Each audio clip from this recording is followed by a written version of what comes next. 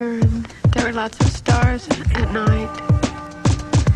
And uh, when it would rain, it would all turn. It, they were beautiful, the most beautiful skies, as a matter of fact.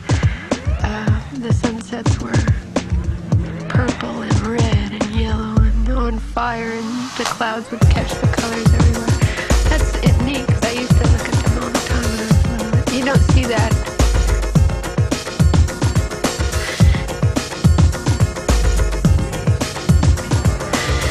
those were the days.